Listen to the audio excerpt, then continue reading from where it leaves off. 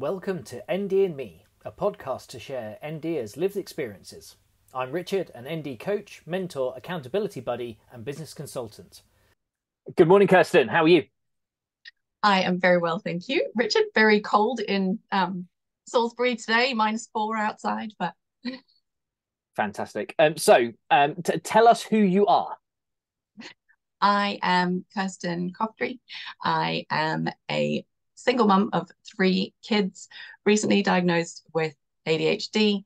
I'm also the founder of Gaia Learning, an online school that supports uh, neurodiverse children around the world um, and in the UK. And I've also recently launched um, an ed tech platform called Hybrid School, where we are building the technology to replicate the sort of the tech stack that we've pulled together to allow schools and communities around um, the UK to support the children in their communities because we've recognized that it's not all about um, online learning and learning in the cloud and sort of being being really excited it's exciting being part of a global community but that place-based um, community is really important. So yeah that's me so so so in my background research uh, uh, gaia I, I think there's something hidden there about some need for centering and grounding and coming back to earth. So so so, so t- t- talk to me more about all of that. Is, is that some base spiritualism within you? Is that some new founding? Talk to me so I am, oh, I also identify as a geographer. I'm a fellow of the Royal Geographical Society. It was thanks to them and uh, a scholarship that I got to retrain as a teacher, um, uh, as a secondary school geography teacher, that kind of got me really uh, on this path. And also when I was at school, just I've always been that's the bit that's made sense to me like the reason for education. Why why are we why are we learning? We're learning to figure out how we can live more sustainably on our planet. That that's that is really important. I ended up doing a geography degree because i didn't know what else to do and my parents said i couldn't go traveling until i got a degree so i just picked my favorite subject. And um, gaia is an earth science hypothesis that kind of goes along the lines of if the world was to be left to its own devices, that all organic and inorganic components would self-regulate and come to just uh, sustain itself. An equilibrium, yeah. Yeah, and I think I'm applying that to education in in my passion for the planet and Earth. That we're out of whack because the government, politicians, and exam boards have got too much control over education. And we've moved on from, you know, factories and the need for stock standard pathways and standardized exams. Um, I think that we need to readdress the balance by putting the power and agency back in the control of the students and the parents who are uh, key stakeholders in it. And in my experience, just giving students power over their learning is so transformational because they they know so much more about what they want to do and why they want to do it and um and they care massively about the planet and its future and um yeah by telling them what to do and and all of that our climate anxiety is increasing and and it's fundamentally important that we get that back. Now my inorganic component in in it is the technology. And it can seem kind of counterintuitive i think a lot of the time when people think about online learning and ed tech and and that because we're using it at Gaia to make learning far more applicable to the real world, making it flexible so that families can spend more time with each other in nature, um, traveling, not tied to that nine to three school day, which makes it so impossible for working parents to be able to meaningfully do anything else. It, from my perspective, single parenting, three kids, different ages, different schools, it was absolutely impossible for me to return to any other kind of industry to be able to support all of that. And when you are even in a relationship, it sort of perpetuates that inequality because one parent has got to sacrifice that uh, to be available at that time frame. So, I mean, we see even the students that we support coming from, I mean, we support all sorts. We, we have vulnerable kids right up to billionaire families who use our services, and it's because they need that flexibility. With some kids, it's because they cannot wake up until 11 a.m. With us, others, it's because they want to go in their family jet off to wherever next Tuesday, and so they don't want to be confined by um, by that structure. So, so yes, Gaia is fundamentally important, and the name means a lot. And uh, and yes, it's also Mother Earth and that female perspective that again I feel passionately about you're you're acting passionately too, which is great to see. Um, because I have ADHD and I can't like just sit on my hand. Boundaries are what? no, no, that is fab. I, I, I, caught a, a short of Elon Musk yesterday talking about the um, envir- um the education process, um, advocating for the uh, removal of you know the grade or year system. So mm-hmm. actually, why don't you have a flexible approach by subject. So you could have a five year old doing 11 year old type work in a mm-hmm. subject that they're passionate about. Um, so, yeah.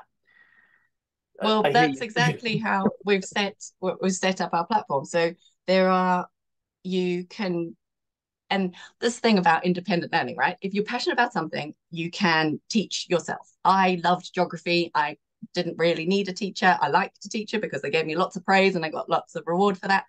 but um, maths, I really needed somebody to just sit right beside me and show me over and over and over again. That was not a place I could be independent.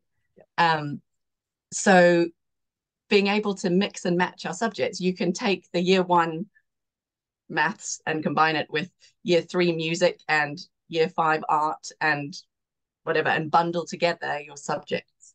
And while we offer a very well recognized, internationally regarded curriculum, we were one of the first Cambridge international schools to be um, accredited online.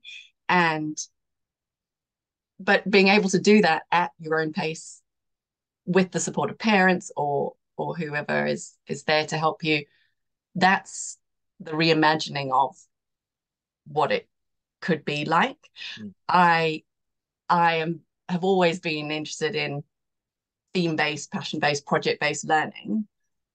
But I think seeing that in a classroom situation or with my own children, if you're not given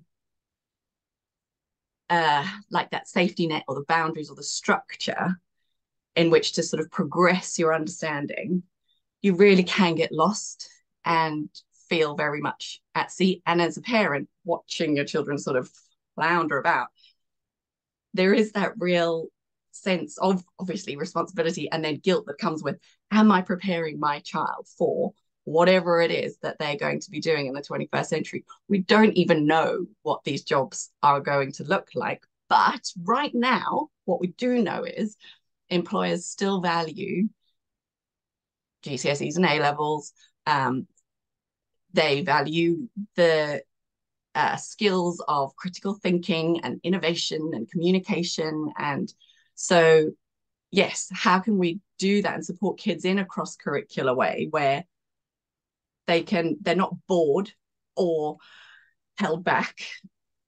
And likewise, they're not put into situations where they become highly anxious because they're just out of their depth and having to keep up with everybody else and what's everybody doing. Cool. I'm just taking a big sigh of something there. Um, I love geography too.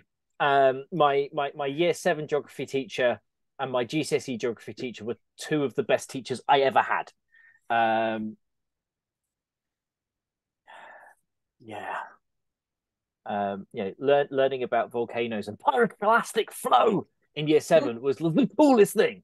Um, yeah. So whenever the answer was pyroclastic flow, my geography teacher would ask me what the answer was because because That I was was it. enthused about exploding volcanoes. Because why wouldn't you be slightly amused by exploding mountains? Anyway, um, and then Well, I remember teaching that during lockdown um, in an independent school where I was working, and the the traditional way of doing that was to produce your volcano model. You know, Mm. bring it in, and everyone would set their things off, and um, some kids would bring in cakes and whatever. But generally, it was that the parents had produced these beautiful volcanoes and stuff.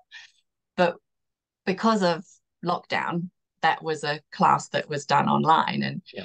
I remember setting my year sevens the challenge of uh, creating their models in Minecraft or even on Fortnite or Yeah. and that was really, I mean, it, it inspired kids in another way uh, because they could show in their own gamified metaverse way their understanding of here comes the the acid rain or the pyroclastic flows and this is why the village was here and I decided that you know these guys survived and these ones didn't and it it just showed how creative kids could be and and how yeah there's different mediums that we can show our learning in and, and, and then there's a bit for me about your comment about keeping up.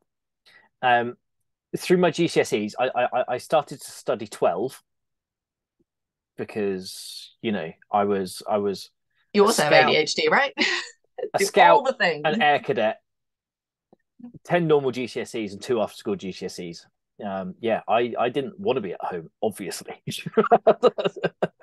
um, so so then after a year and the trip to Venice, I dropped Italian because doing French, German, and Italian was um, hilarious. What's the word for blanket? Is this? No, that's the Italian word for blanket. Oh, okay, I give up. um, but I got a trip to Venice out of it, so that was well worth doing. Um, but geography was the only lesson that I had after school detentions for to finish my coursework. oh wow it's like, Richard, you are more than capable of doing very well in geography. You just have to apply yourself. Deadlines are what again? Okay, so what you're going to do is you're going to come into my geography class for an hour every night until you finish your homework. Like, "Oh, Wow. Well, Um, you'll be pleased to know because now they don't do coursework anymore. It's um, exam based, which again can be a bit of a shame because by the time you'd gotten through all of that um, detention and stuff, you probably had something you were quite proud of. I remember my coursework being the first time I'd actually produced a really comprehensive report that had analysis and and evaluations and conclusions and Well, and, and- then and then came to GCSE day. So um, I, I was independent. I had I had a little moped. So and, and my school was you know, eight or ten miles away. So um, I get on my moped on the morning of GCSE results day, drive to the school, um, to the local library because they've shut the school because I went to school where Ian Huntley did dastardly things to girls, so we weren't allowed on campus that year because that was the year. oh, wow. Um, so we're in this little pokey library that none of us know, except for if you lived in the village where the school was. I think it's a town. It's called a village college, but it's a town.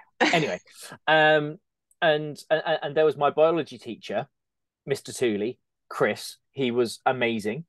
Um, he is the reason why I can recite the balance symbol equation for photosynthesis because at the beginning and end of every um, GCSE lesson for biology, we recited it, and now it will be ingrained in my brain until I die. Yeah. Can you also Um, do osmosis is? Oh, just, just don't. Quadratic equation? No. No, well, These useful so- things you've used every day since. Sorry. I, Well, so so so, so um, I- I did separate sciences at GCSE, so that was cool. So helping the kids now. So my eldest Mhm. is doing computer science, chemistry, and maths at A level, and I'm like, I can kind of get where you're going with this because I did chemistry and maths A Mm. level. I flunked it, but I studied it. Um, were there, present. Yeah. So, so, so, so, I turn up that morning. Mr. Tooley's like, "Fantastic, Richard. I'm really glad to see you. I hope you've done really, really well." I've got to be in biology. That's cool. I go and see Mr. Evans. Mr. Evans is um, a, a, chap from Nottingham, but loves. No, he was Welsh, but and supported Wales and Nottingham in the rugby. Um, and he was he was like, "So Richard, what did you get in geography?" I said a B. I was quite pleased with my B, and he was like, "Oh, that's disappointing." I was like, "Hang on a second. So not only did I think I bust my balls, and I'm quite proud of a B, you're like, could have done better. I'm like, that ass. Can't you be a little bit happy that I am leaving the school with a grade that I'm kind of happy with? Um, yeah, I was quite pleased of five Bs, five Cs, and a D. And the only reason I got a D in statistics is because they put me on the higher paper and I should have been on the intermediate. If I was on the intermediate, I probably would have got a high C. Um, but yeah, it, it's funny how 20 years later, 30 years later, you look back on your life and go, you know, those moments where a teacher upholds your ability mm. or questions your ability stays with you mm. forever. You know, I remember, you know, my year five and six teacher um, reading aloud a story that I'd written where I'd written out the sound effects of the story. yeah, I felt about this big. Um, and, and, bearing in mind that I was picked on every day from being three to 17, what I really needed was my teacher in front of 30 other kids making fun of me. Um, anyway.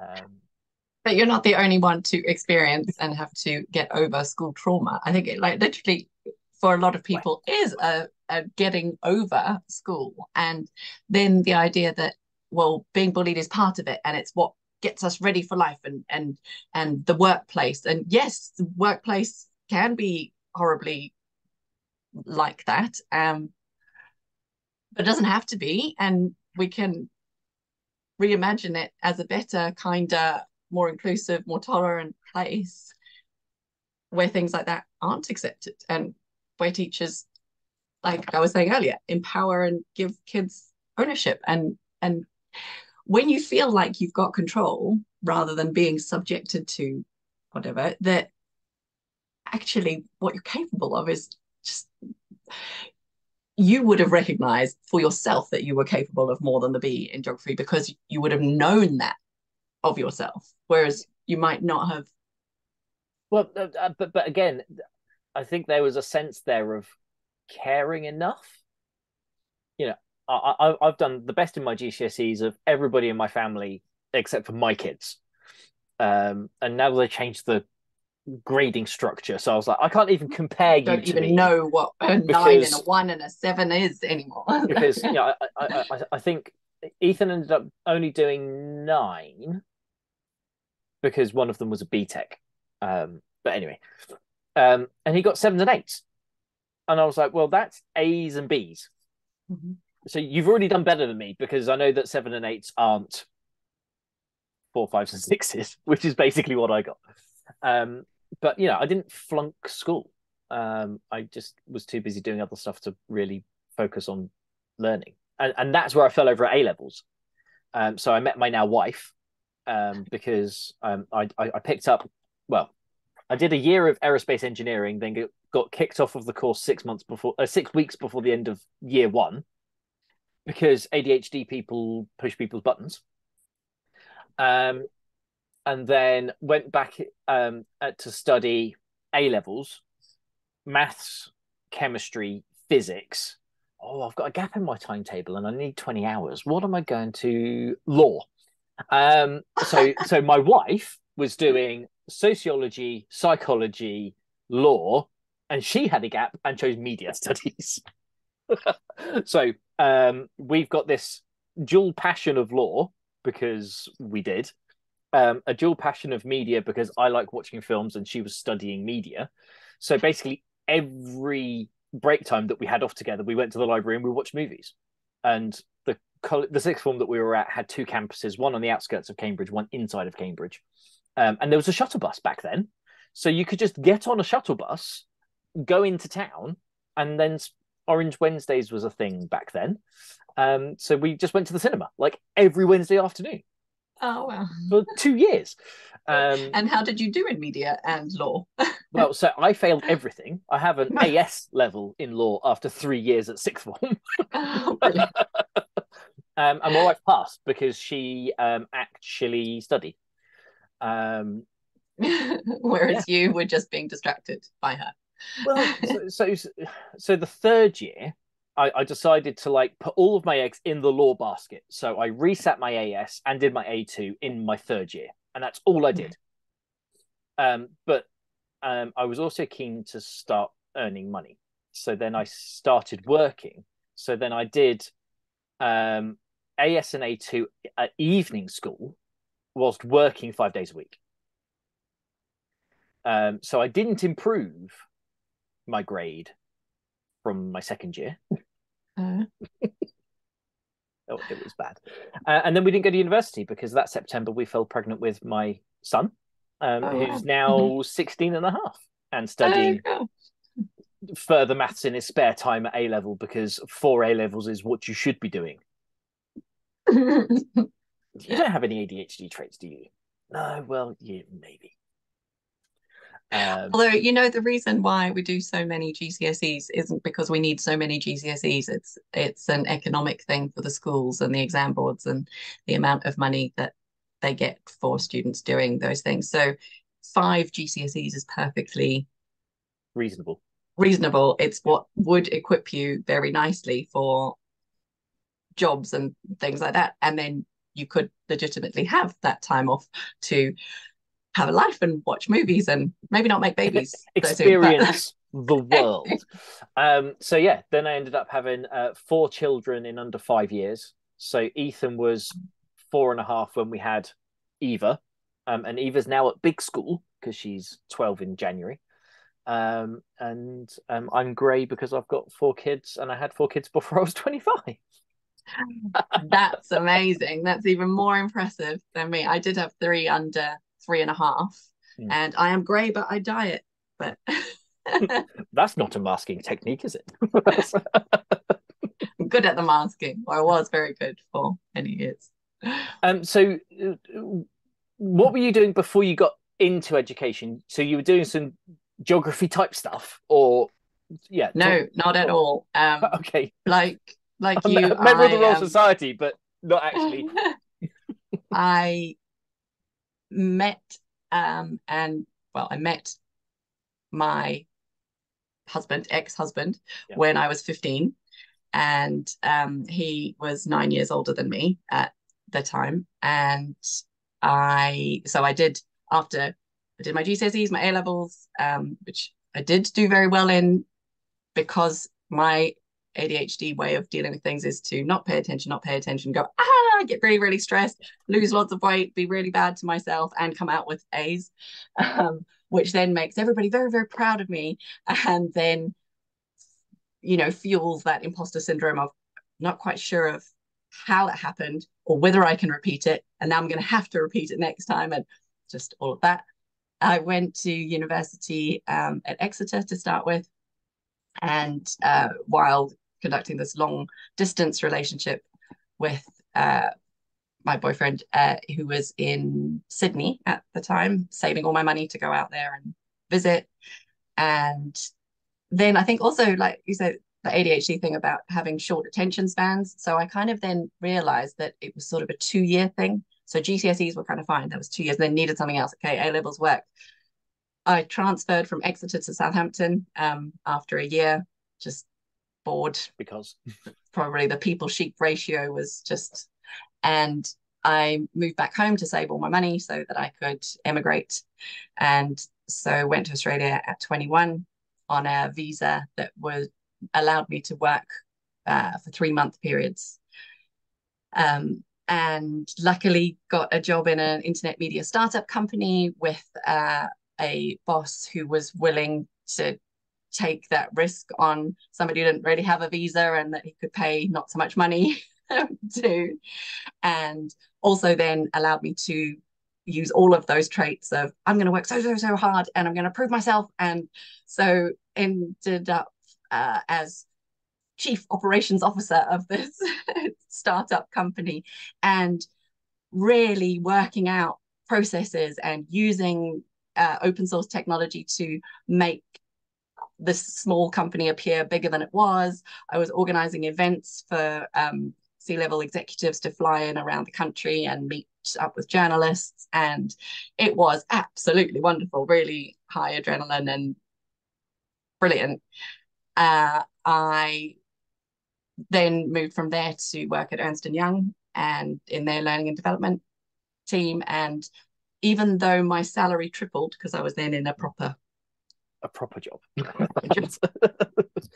I was doing like nothing really in terms of coordinating um, things. So I got bored after six months, applied for a promotion to a new department, which was DNI. It was like very flashback then. Every, you know, we need a DNI team. So they put four of us women in charge of this DNI team. There's partner and ED, uh, senior manager, and then me.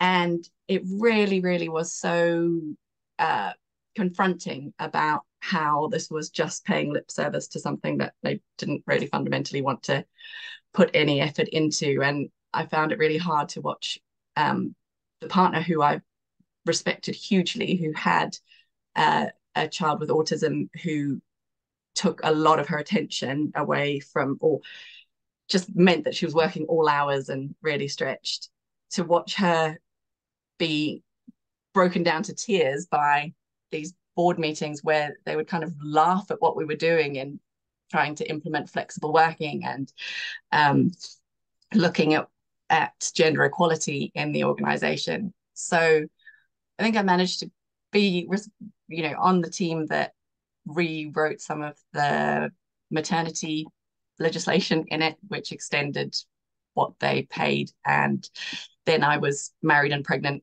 and pretty much benefited left. from the new policy. yeah, I did. Did benefit from the new policy. And then ended up following my ex around the world with his job.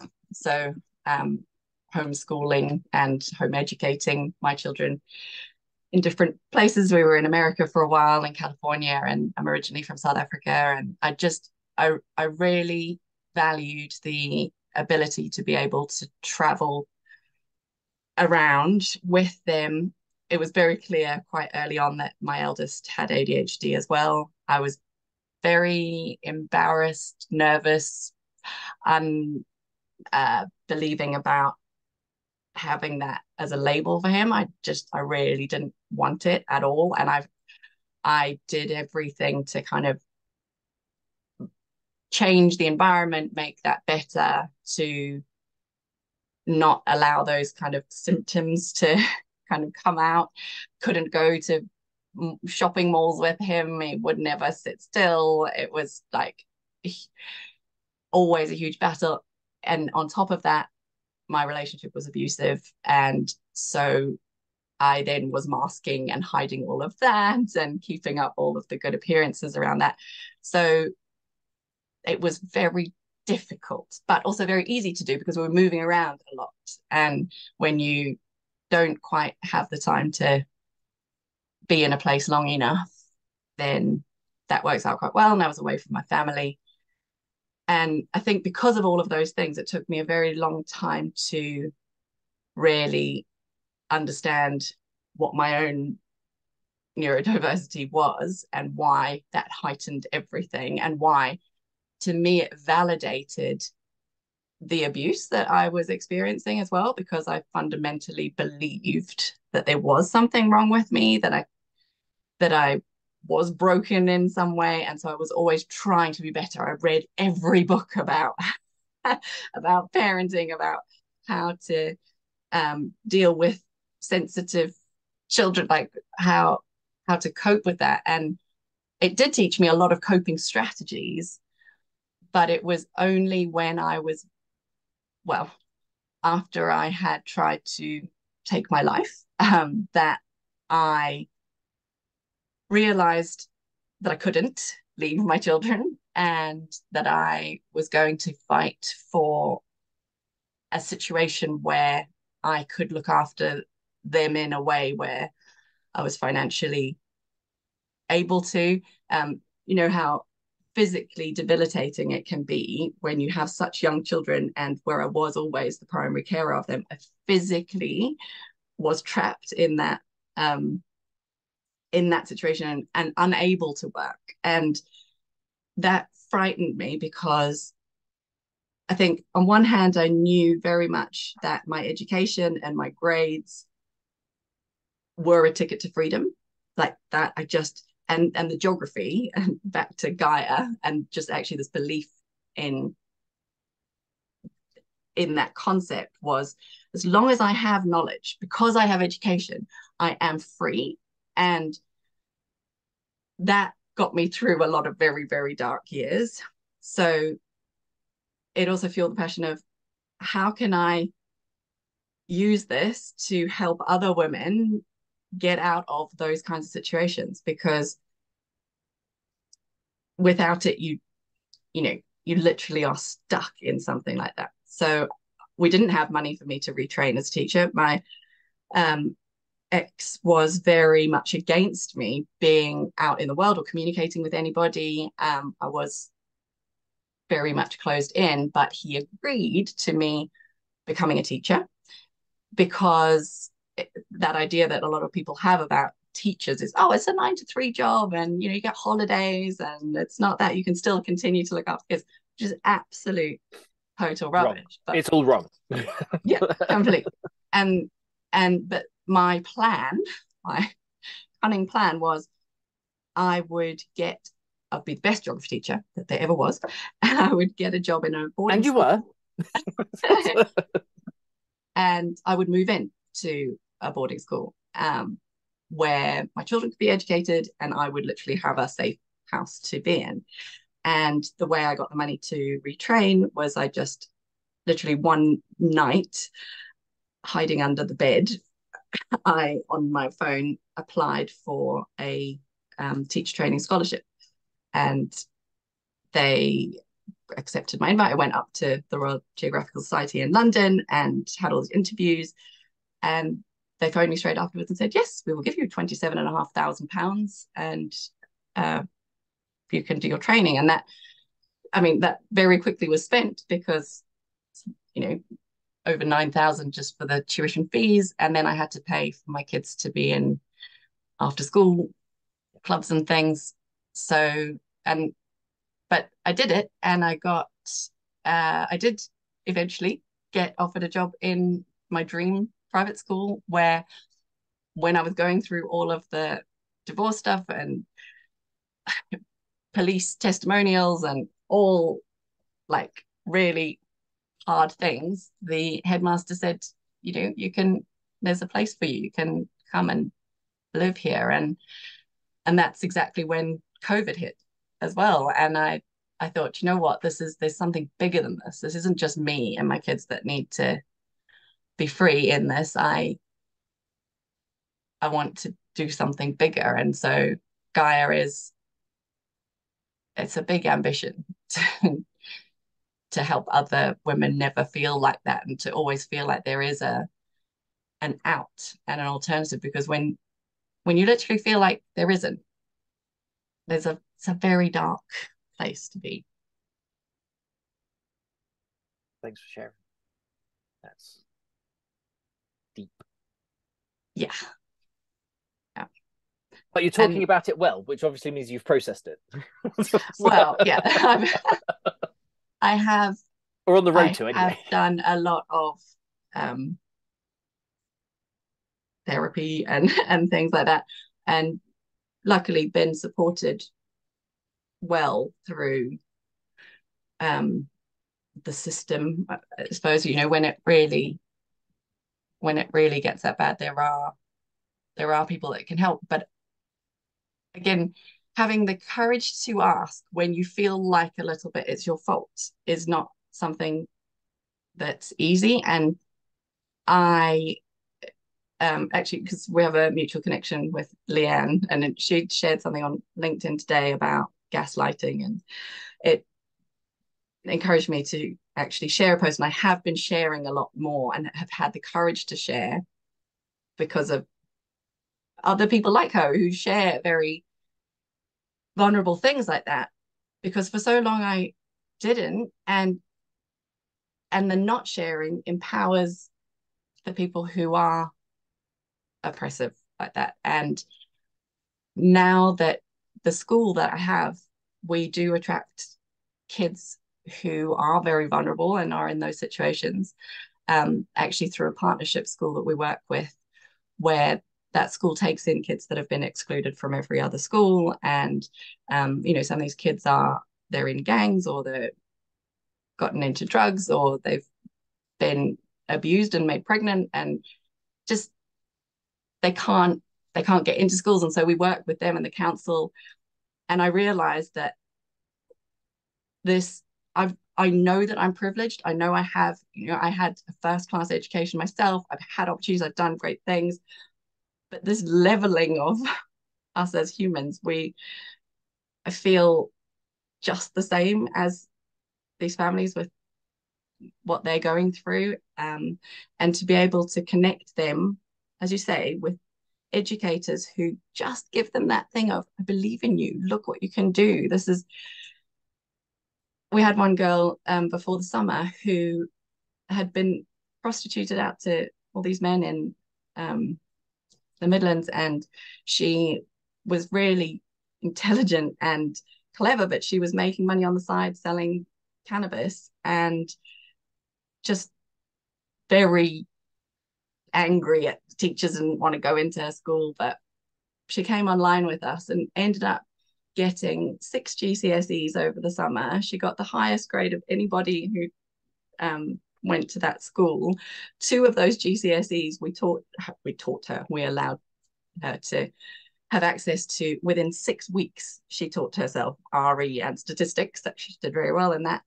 And she now wants to go on to be a lawyer to help other kids not get in that situation. But it's, you know, it's that one spark parent that or parent, one adult that believes in you, one uh, and annoyingly those GCSEs, whatever they are, and she got fours, fives, and sixes, but it's your ticket to freedom and a breaking of a cycle.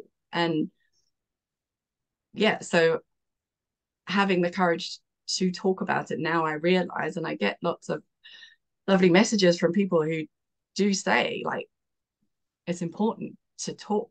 And if I'd had seen somebody else talk and and also it's the demographic and who you identify with as well because for me being a middle class white woman in actually a very affluent neighborhood and i've got you know i i masked projected a very happy good life so it was very hard for someone as stubborn as me to go do you know what this isn't real um so yeah, thanks for giving me the opportunity as well on another platform. If just one person hears that, do you know what, there's there is help. And for me, it was a doctor who uh, recognized what was happening. I'd gotten to a stage, I think, where I couldn't control anything in my life. So the one thing I could was food. So I'd stopped eating, but to the point where I was making myself very, very, very ill. And my partner took me to the doctor because work wouldn't let me go in until I'd gone to see a doctor. And the doctor phoned me afterwards and said, Are you alone? I need you to write down this number. And she gave me a number of a um,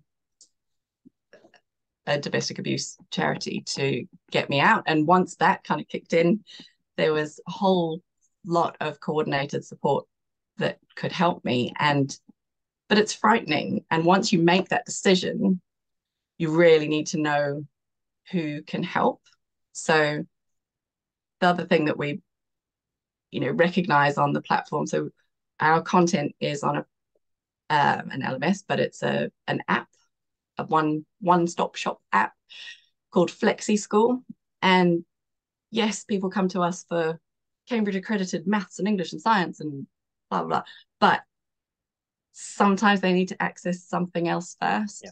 And whether that's support for children who are in a very stressed stage and can't be doing maths tuition just yet, they need some support, or whether it's actually the parent going, do you know what, I'm trying to do all of this myself and I'm very overwhelmed and how can I how can I take feel- a breath for myself. Yeah. Yeah. No, I, I'm um, starting to, to do some work with a lovely lady um, who has um, established, is establishing.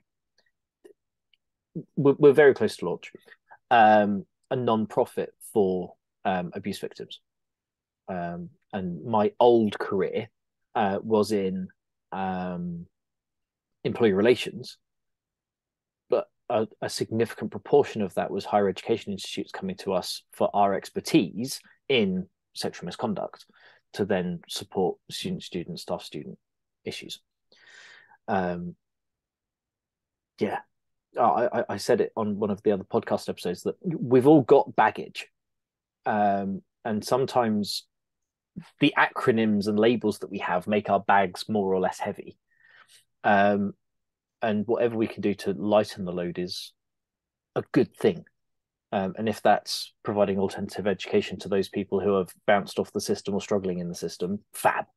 Um, if that's supporting, you know, mums and teachers, then then that that's all good work. And but it can be hard when you do accept or you you out yourself with a label. Just like my fears around, you know, accepting it for my son, yeah. those are valid fears because even for me and like culturally where I come from in South Africa, that divorce as a you will be socially and economically ruined or yeah. having a neurodiverse well, label. Yeah. Yeah. Is a oh yeah, okay. But just don't like uh, don't mention it on LinkedIn or don't because will someone else employ you or will you you know the the first school i worked in it was dreadful that i went through a divorce it because it was an incredibly religious school like that and so to take off a wedding ring and all that was not desirable and like to think that we still live in that with those things we say we don't and there's a lot of talk about it but actually, when you talk to a lot of people, their lived experiences and the results of them yeah. being different do result in quite catastrophic consequences. And then to try to lead from and talk about those things, you're in a very vulnerable place. and now, I mean, with startup companies, like my experience all those years ago, and very much now with two startups, looking for investment is big and scary and expensive. And I've put every personal asset that I have on the line because I believe so fundamentally in it. And while I'd love it to be a charity and ultimately with scale, it will be free, to be respected in an industry, you've got to charge high prices and you've got to be exclusive and you've got to be all these things as well. So it's hard. I, I, I, yes. you're you're in this too, right? yeah, yeah. Um, yeah. But talking to a friend uh, yesterday, actually, who has been my best friend since I moved to the UK nine years ago, and the reason we became friends was because my well, my son really struggled to make friends as a kid. It was just always very hard. Go to all those soft play centers and he'd just like attack all the other kids. And it's always just big, horrible nightmare. But her son, who also probably very much ASD. I think it's called playing robustly. Is it? Like, yeah, it's like, yes, well, it's uh, my kid. I'm when I was in a ball pit throwing balls at other people's faces, um, that was fun. So um, if that's being mean, then I'm sorry. Yeah, no. but, but yeah, the fact that my son finally had a friend that he Yeah. got with. And and I think that's also the thing with ADHD as well, that friendships are, I've kind of realized now, all my very close friendships are people who also have ADHD. And just sort of finding your tribe and finding your place and finding your people who accept you for your crazy brain and your different ways of dealing with things. Um, but yeah, she was just saying as well that it's, um, I don't know, being being accepted, finding finding a place is special and rare, and yeah, when you get it, you Hold on. yeah. and and it's something that I've come to realize in the last few years that my friend group is my wife, but I have a lot of acquaintances. Yeah, my network is huge. Um, you know, I, I've got like four people I know who work for Cambridge Assessment. oh really? um, you know, one of them um, is currently in charge of um, the A level um, computer science program, um, and a whole heap of other fun stuff. You know, I, have got a friend who's uh, one of the uh, MBA leaders at Judge Business School. You know, that that I, I, there are fantastic people who I converse with regularly but they're not the type of people that I pick up the phone at three o'clock in the morning because my house is on fire for somewhere to shelter. Um, and, and that's something that I'm still coming to terms with. I don't know if that's something because I've got young kids. I don't have time to worry about my own friendship group. Give me another 10 years when they've all moved out. Well, maybe life will be different. Um, but no, it, it, it's really funny. In Graham's episode aired last week, um, he he was talking about um, how we tend to attract each other, um, which yeah is is quite fun. And then sadly, uh, you get into situations where you you attract each other, but you've attracted each other because of your similarities, but your similarities also wind you up. Oh yes, and then and then you end up yeah. with very explosive relationships because. Yeah. Um, yeah, not all of our traits are helpful. No, and especially uh, yeah, and that friend as well with rejection sensitive dysphoria. That's a real thing, and it's very easy to very very deeply hurt um, hurt each other. But at the same time, I think there there are a lot of people having adult diagnoses now, and there seems to be a real buzz around this. Ha, huh, like okay, I'm I'm different, but that's why. And so many other people who haven't thrived or have come to blows with the traditional systems in whatever way are now founders, entrepreneurs, creatives, um, innovators, and is a real, I don't know, rise of a creative class of difference. And maybe it's not even, there's so many of us, maybe, that it's recognizing that there's just an alternative way and that yeah. all the discomfort and that fighting internally because you don't quite fit in. But really if there was another box what would maybe there's two streams or, or there's just a mix and match or a but it's not just, a right just, and wrong. just and... another way. You're driving to scotland well, you can go up the A1 or the M1. It doesn't really matter, or the yeah. M6 if you're that way inclined. Um, so, so you know, there, there, there, there are many different ways to progress. Um, and you know, standing still isn't standing still; it's going backwards because the world's changing so fast. Mm. You know, what got you here won't keep up with where you are needing to be, wanting to be, developing to be.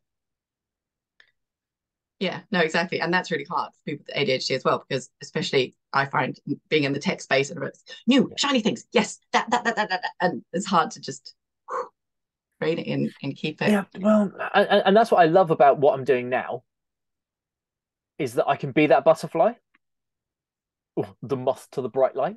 Mm-hmm. Um, you know, I, I, I, I'm not held to any standard other than my own. Mm-hmm I'm not held to any standard other than my wife's. um, and you know, it. I really need to focus on studying for this course. Yeah, but right now I just don't have the energy to sit in front of a computer and research behavioral psychology of change. what I actually want to do is, you know, go watch a video or you know do something creative with my time. Mm-hmm. Um, and yeah, then my lecturer uh, gives me a collar rub because I haven't done my assignments on time. Okay. Yeah, but when you're ready to and you really want to, and there's a need to, then well, well, uh, and that's kind of the benefit and challenge. So, so I'm doing my level five diploma in coaching and mentoring um, to have the piece of paper to back up my skills, mm-hmm. um, and I'm doing that one on one. So, so there's a local um, facilitator of the ILM program that doesn't run cohorts. So she's like, "I'll walk you through the program. You can do your assessments. We'll get you signed off." Which is fab. Jane is awesome. Um, but because it isn't a cohort with a structure, I don't have the deadline. Okay. So instead of going, Richard, I need you to complete this 3,000 word assignment by the 16th of December, I'm like, okay, I'll do an hour. And doing an hour is actually just researching an hour, not even writing an hour. Mm-hmm. Um, and then you realize that, yeah, across the three assignments, it's something like 300 hours worth of effort. Yeah, 300 hours. Hang on, that's 10 full-time weeks hang on a minute that's oh. that's not a lot that that's not a small amount of work mm. and yeah um yeah it, it's it's starting to dawn on me that i've bitten off lots and now i'm trying to slowly step back away from everything that i've bitten off so i wrote to uh, another online learning provider and said um can i cancel and they're like, but why do you want to cancel? We can give you a deferment. We can give you an extension. We can, we can, we can, we can. And I was like, because I have two full time jobs and two other courses that I'm doing, and a third isn't going to happen. So you can keep yeah. taking money out of my bank and me not get anything from it, or I can cancel and just put the 500 quid that I've wasted away um, and at least have some freedom by not having this thing constantly in my inbox every day going today you should really do some work on your assignments. yeah, it's just like don't shout at me. I don't want to do it. right, and then well, there's a um, conversation um, about um, demand avoidance. So um, a big trait in ASD. Um, yeah, if somebody tells you to do something, you yeah, do no. everything but that thing. so yeah, the wife's like, "You should really come and help me wash up." Tell me to do that. I would have done it if you hadn't actually said that I should do it. Yeah, yeah. But yeah, I cook because I like to eat. Um, my wife's not a very good cook. Um, she openly admits it. Uh, and yeah. But yeah, it's where you get satisfaction and then also actually feeding people you get the reward. Apparently, I don't like to cook very much and I take ADHD medication, which suppresses my appetite. So I don't have an appetite to cook, which is also hard. So it's like I know this is a thing I should do, which is different. But we also with our startups now, uh, with hybrid school, we're on an accelerator program, which is a bit like an MBA. And in a cohort and with next week having the deadline of, well, you get to pitch to a bunch of investors. And it's like, fine, I'll do the financial spreadsheet, but I really don't want to. And I still do sit and Kirstin, it sounds like you need an accountability buddy. oh, yeah. yeah. Well, coaching, I think, is is a very helpful for me. I the last two years, I have worked with coaches to keep me on track, and it it it's worth its weight in in gold. I couldn't wouldn't have done what I have, and then working with my best friend and business partner, and having shared vision and shared uh, experiences of children who desperately need what we have is motivation enough and i i do feel a sense of urgency of you know just knowing that if we can get the investment and the scale how many more people we can help and it's like I don't. But then I also think that there'll will there ever be a time where I go, yeah, okay, enough will never be enough. It's so I'll just ten percent more. yeah, but I think trying to just balance it a bit more with spending time with the kids and going for a run and and and recognizing that all of that time with friends or balancing is equal to everything else. So, so one question I, I normally ask early, and we're quite deep in the conversation now. What led you to getting diagnosed so late? Um, I I always thought I was creating the school to help my son, and um, I this that the friend that I told you about, whose son my son is friends with, she'd always say to me, "Have you ever considered you've got ADHD?" But it was always a bit more of a like a loving joke. but when you got I, ADHD, no shit. I know. And then actually, since I've had the diagnosis, like I've had uni friends go, "Yeah, did you just figure that out now?" Um, Take but, you a minute. yeah. But it was burnout, just reaching burnout again, you know. And so in April this year, I just got to uh, just another set. It was second time having COVID very in quite quick succession. Um, all through the the lockdowns and then all of that being very much fully responsible for my kids and setting up businesses and all of that obviously would have probably been quite tiring anyway but i actually got to a point where i phoned my brother who lives in london like midnight one night and i just said that like white flag please i like help and he drove down in the middle of the night and i think i just went to bed and i didn't wake up for 48 hours and he had tidied my house, organized my cupboards, booked me in a cleaner, um, you know, looked after the kids. And he just said, Do you know what? I'm going to pay for you to have an assessment. And he did, he did, he paid for the full assessment. He said, I don't know what it is that's wrong with you, but something, something not quite right. So I'm not saying you're broken, but we're mm. going to see if you're broken. Broken, yes. like, let's see. Let's just see how broken you actually are. And I, yeah, I guess I hadn't been taking very good care of myself, or I, I didn't feel deserving of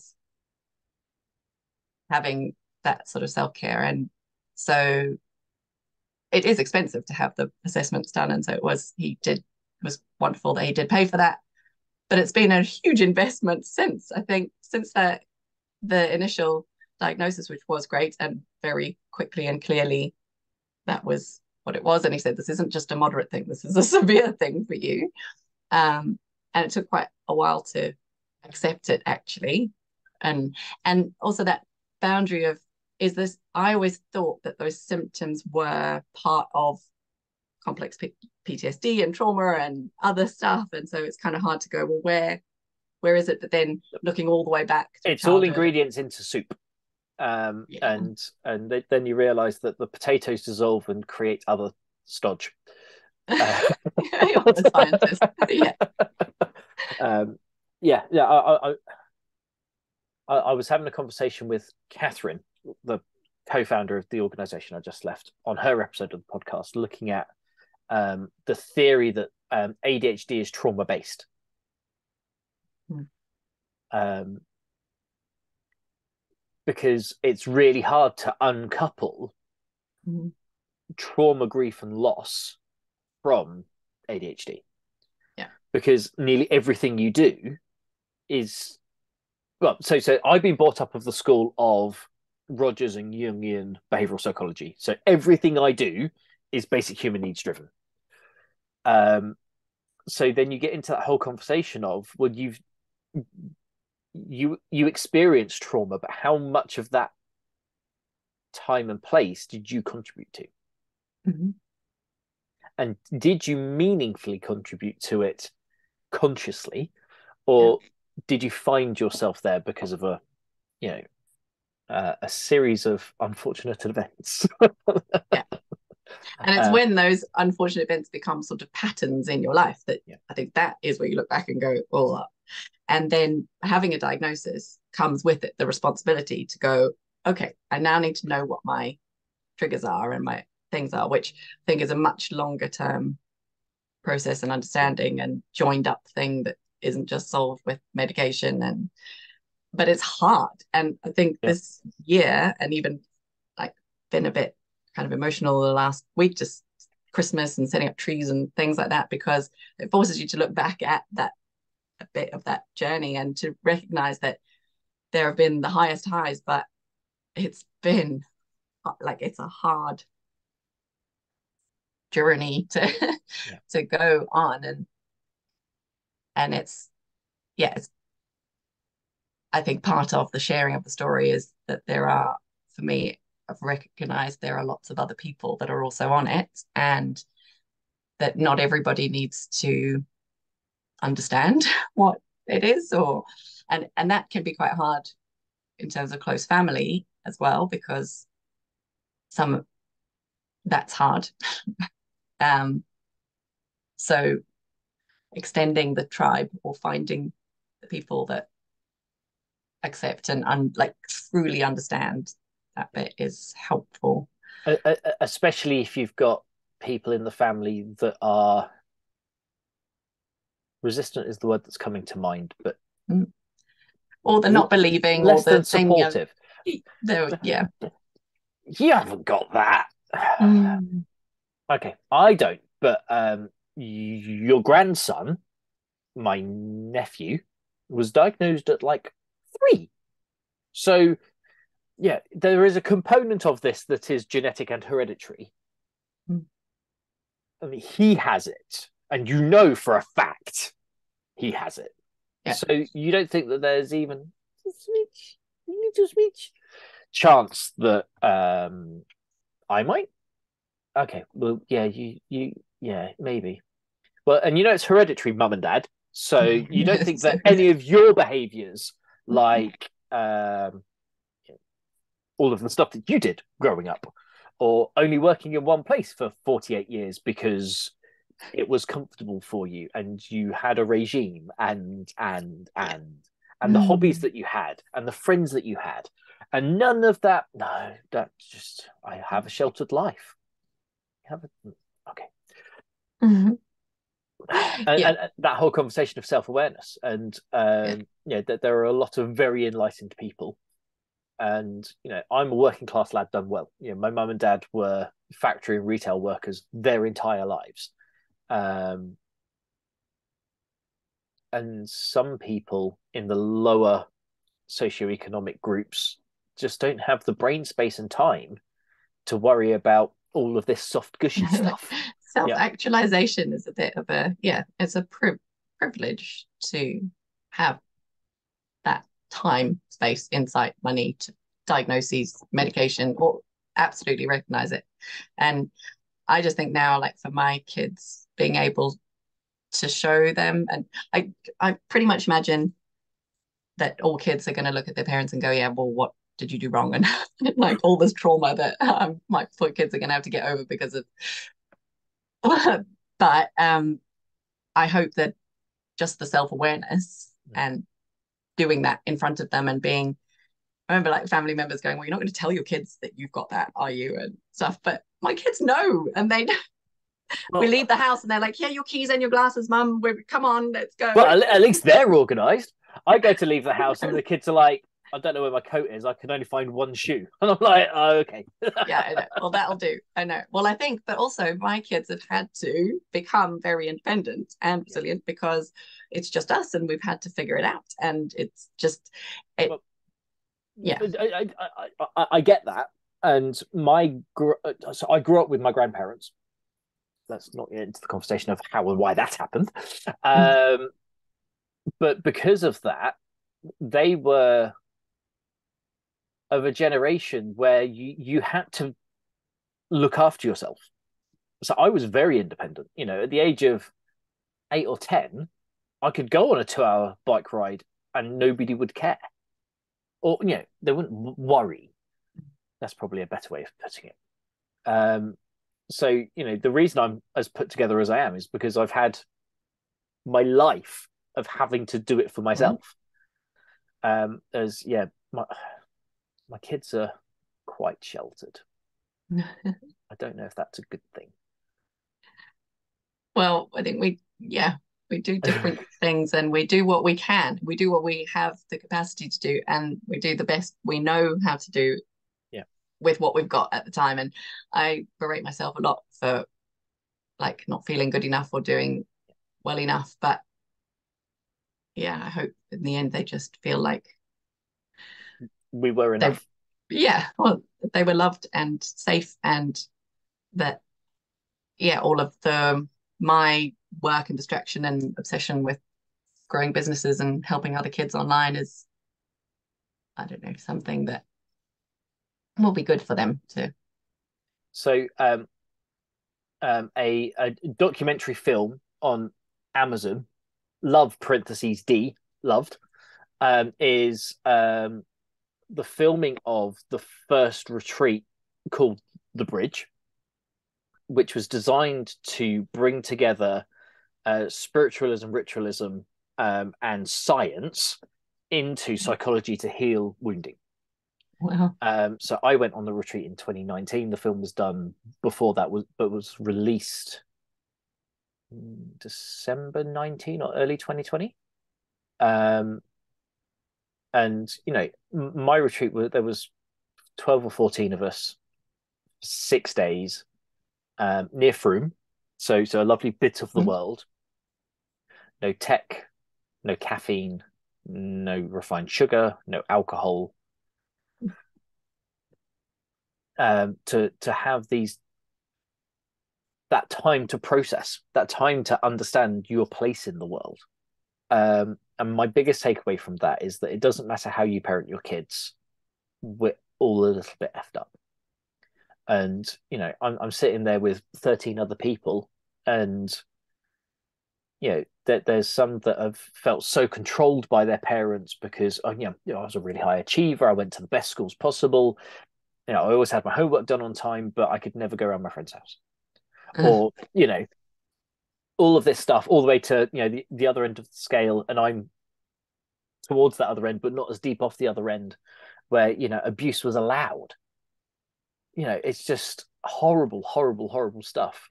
Um, but you know, even if you think that you're doing your the best by your child, your child will find something to hold you on. so, Until they have their own, probably, and then they go, "Oh, do you know what? This is quite a hard gig, and maybe well, you're all right." yeah. Well, so, so, then I saw another short recently that was said. No, they say that if you have an easy child, you'll pay for it in their teens. Oh yeah, um, I know. I'm working it round, but then don't have three or four kids because they'll all swap and take turns. So I feel like I've got out of hard patches and I'm in a nice teenage bit. But actually, the other one's coming up and they were good, but now they're going to be challenging. Yep. So um, Romesh Ranganathan back in like 2011 came out with a lovely bit about kids, um, and he was like, you know, my firstborn, I absolutely love him. He's awesome. My secondborn, he's a terrorist. and um, you know, Oliver, my second, uh, got into the terrible twos, um, and now he's fifteen. So um, yeah, thirteen years of the terrible twos, and and that of course isn't anything related to neurodiversity because we haven't had him tested. Why haven't we had him tested? Well, because we're supporting him to be who he is you know, he's got a friend group. He's got three or four close mates. Um, you know, he's not as um, outwardly violent as he used to be. yeah, he's calmed down a little bit. Um, and now he plays computer games and ranges at strangers instead of throwing tables across the nursery. So you know he's he, he's come on a very long way. Um, yeah.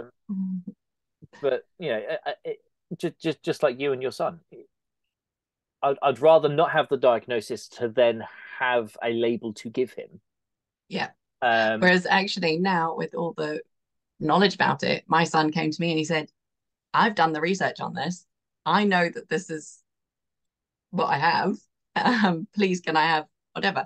My thing about it was about the medication. I wanted to be able to try that first before thinking about that. And I'm still currently of the opinion I don't want. These are my bills. You're not. yeah, they're mine. mummy bill. That's mummy juice. That's another thing. Gin. Hurrah for gin. But um, Is it- It's- look, my doctor said one glass a day. exactly. But uh, if you can change or adapt the environment to suit, um, my son's in a good place now with the amount of rugby that he does, and he's fallen in love or something, which is a good distraction and moderator of behavior, which I'll take this chapter. Um, and How old is he now? 13. So yeah, things are, I don't know, just can't, too scared to say good. Had a good week. This week's been good. This week we haven't punched any holes in walls or refused to go to school or, you know, it all becomes quite relative of what what a good week and period of You time. scraped your plate in the bin, not on it. I know I'm really grateful. My son also has OCD, so he's incredibly neat, tidy. Everything's got to be just right, which comes with its own other issues of oh, if the smells are not quite right in the room or something, it can be disastrous. But but yes, we we live in land and I think if we can share and laugh about it and just not feel alone, I think that's what's fundamentally changed my life and and given me the courage to just keep going with it because yeah maybe that's just what it's all about. Life needs life to live. yeah what other cool quotes can we come up You know, um, I, I'm a big fan of um, obscure quotes from movie and theatre and stuff. well you watched a lot. I I I don't on the other hand. I can't sit still long enough to actually watch a film well, so I so, don't so, so so this is so so I um, commission paint and model stuff. Oh. Um, so so while I'm doing that, um, these get bored. So um, I listen to uh, all kinds of stuff. So so yesterday I had two hours of brown noise because I was trying to focus on writing an assignment, and I was like, I can't. I can't not listen to anything because then I'll just hear Uh. the wife hoovering and tidying and stuff, and that will bug that's me. a good sound no well, the kettle going. um, and but th- that whole conversation comes back to there's a group of voice actors that play Dungeons and Dragons and film it. Um, and and I've been watching them for ten years now. It it's been a while. Um, and yeah, one of the characters um is a healer um who um isn't very smart but is very wise. Um, and you know, life needs life to live. okay. So when we got into the conversation of all of that um but you know it, it's i'm also a mental health first aider. Um I, I you know i did that training during covid. Yes i was in here. So so so i've had this office for well it's a brick outhouse. I've made it much nicer now than it was. Um, but yeah I, I remember sitting over there against the wall um on a zoom doing my mental health first aid course. But yeah, it's a lot. Yeah. Yeah. And it's big responsibility, those things, when you start to sort of play in the space of mental health and abuse and neurodiversity. It's a huge, I feel it's a huge responsibility. And um and yeah, lying awake at night wondering about the kid who didn't show up for their online class or what. Yeah. But knowing also that you're the last point of contact that this kid is wanting to have with any kind of adult make you know but it but it's hard and Yeah. having joined up sort of support services as well that yeah Uh, uh, and really, that framing of knowing that you can give support if somebody needs support, but not necessarily being responsible for giving the support. Um, so, you know, I did the training in my previous organization because we were dealing with workplace conflict and trauma around bullying, and harassment, discrimination at work.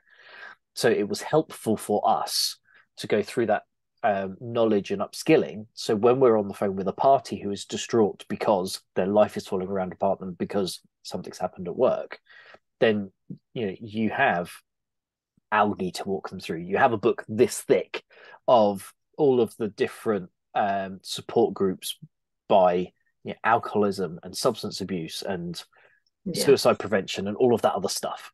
Yeah. Um, so yeah, it it, it it it has been helpful. Um, have I used it? No, but I know that my ALGEE little fold out chart, I, I know where that is. So if I yeah. need to use it, I, I know where it is. Yeah. Um, and there are some amazing organizations that really do help. I know, like for me, there was an organization called Splitz, and they're local and they're a charity. And I'm pretty young, like not sure if I would still be around like without them. So the fact that someone could signpost me there and get it connected at the right time literally like life saving. So yeah, having having joined up approaches where people can get you that information at the right time in the right format where you know you can access it. And also that they've got space. A lot of these things are like wait lists hugely dependent and that can be really frustrating because when you get to a, a place where you decide okay i'm going to take the mask off a little bit because look help me help me that's really scary. And then you need okay. help. Really, can, like, can can you take a number? we'll yeah. see you in six weeks. Yeah, or, or longer. longer. like much yeah. longer. I mean, like my son's been on a wait list for like anger management course thing for months and months. it's like, okay, what was I do before? And so, so is that an NHS provision or is that externally? Uh, no, that's been through his his school and it's been again through the that Splitz support who help me and then they, they help the whole family but they also help abusers and it, like people who want to make change and it's it really and for me it comes right back down to the education. When we were at school nobody taught us about relationships. Nobody told me at 15 that maybe it wasn't the greatest idea to be with the only person you've ever been with and not know and then not talk about things and what was happening. So yeah, I think like relationship advice and it's not just the biology of yeah. how babies are made, it's when two people love each other very much.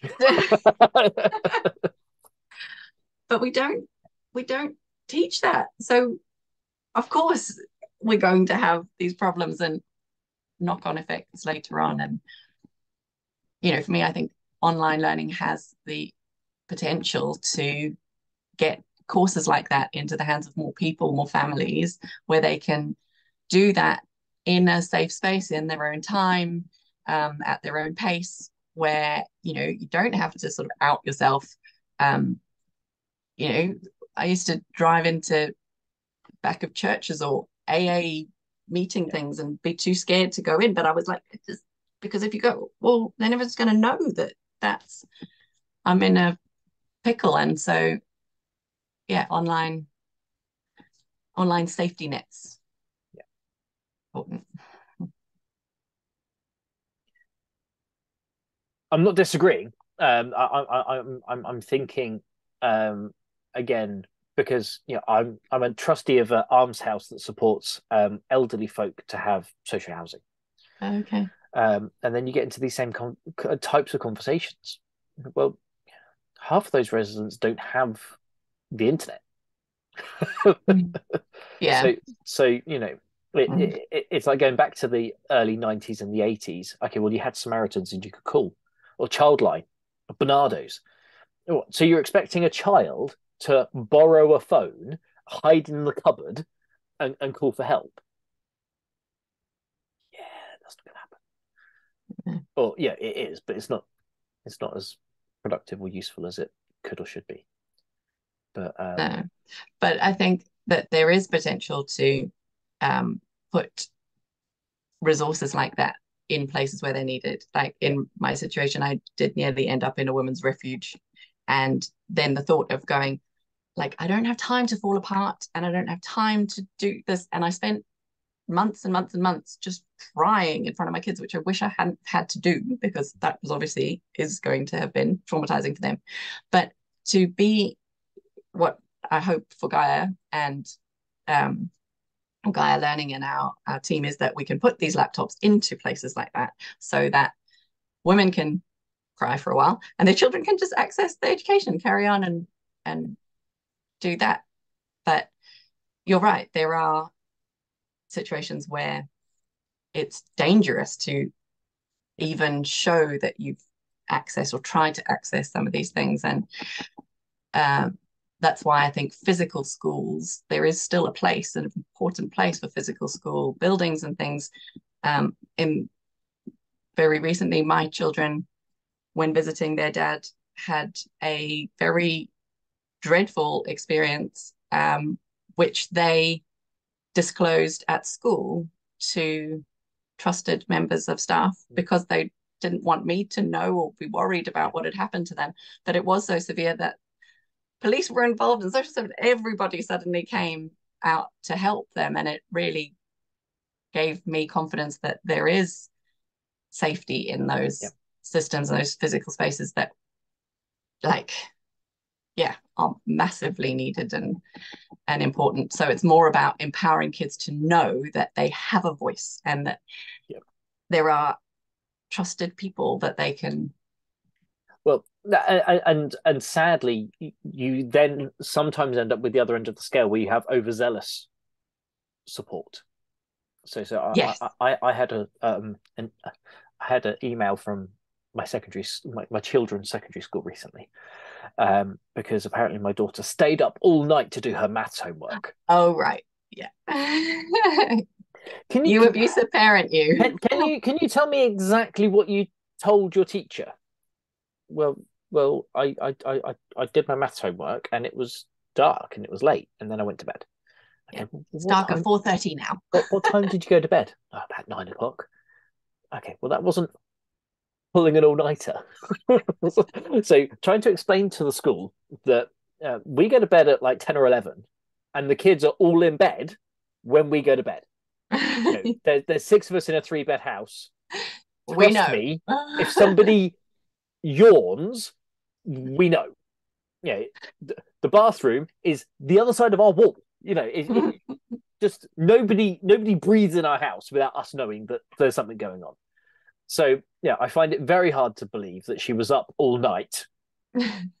because if she was up all night, we would have heard her go, oh, uh, or scribbling paper, or watching YouTube videos, which we have caught Doing a couple of times at you know one o'clock in the morning. Going, are you actually still awake?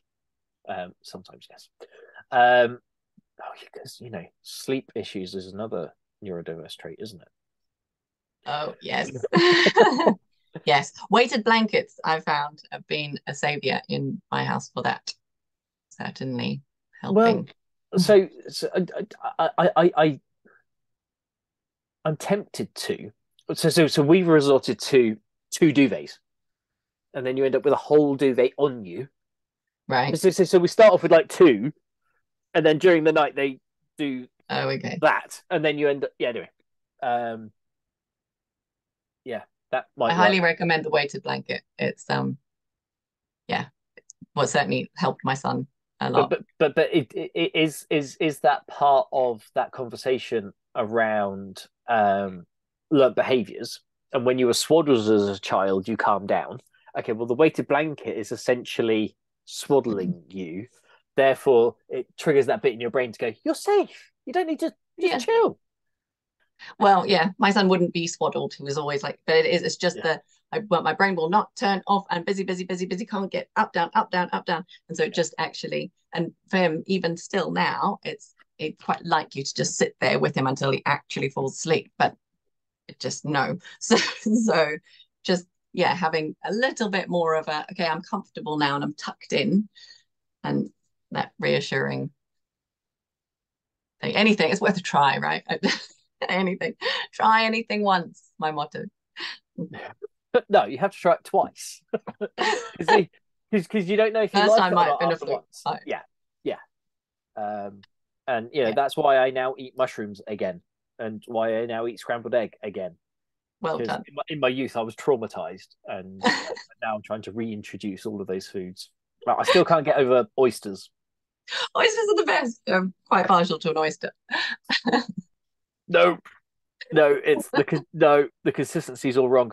We went on holiday to Scotland um, this August. Um, um, the first day there was the first.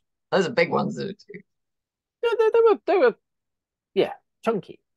Um, but um, you've probably seen the Loch Fyne chain restaurants. Mm-hmm. We went to a restaurant on Loch Fyne. Oh wow! Um, and then my eldest. So we've got a seafood platter, a charcuterie board, and stuff for starter. And um, yeah, I was like, have an oyster. No, just just like put it in, swallow it, put it in, chew it and swallow it. That's on you. Let's go. No. So, so, so you put it in, and he was like, I was like, well, at least you try. Like swallowing a cold or something.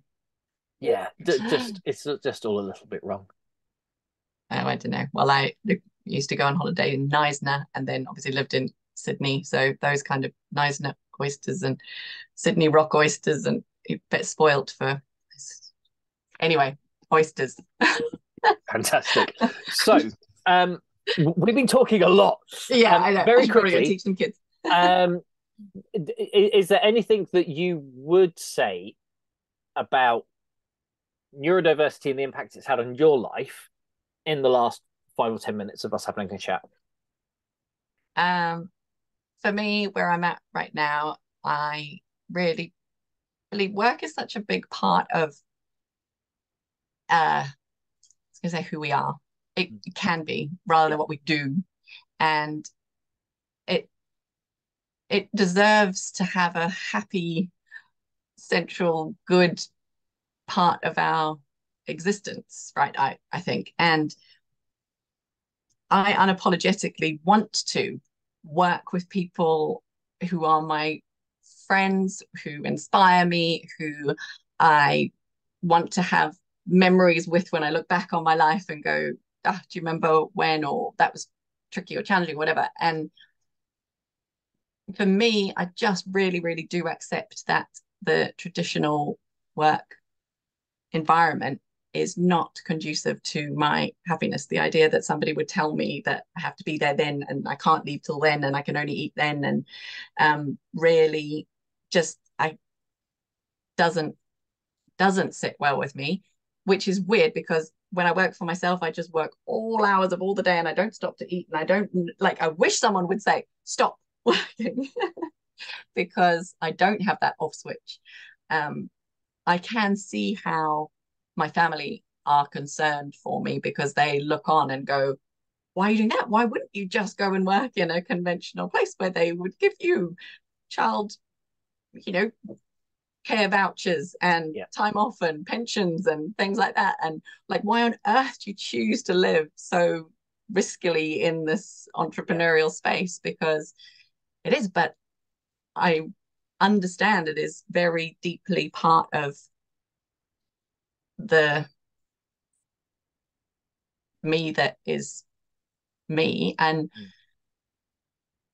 I do think that with more knowledge and understanding and more sharing like this of the realities of it, that we'll get better at helping each other manage that more realistically and holistically.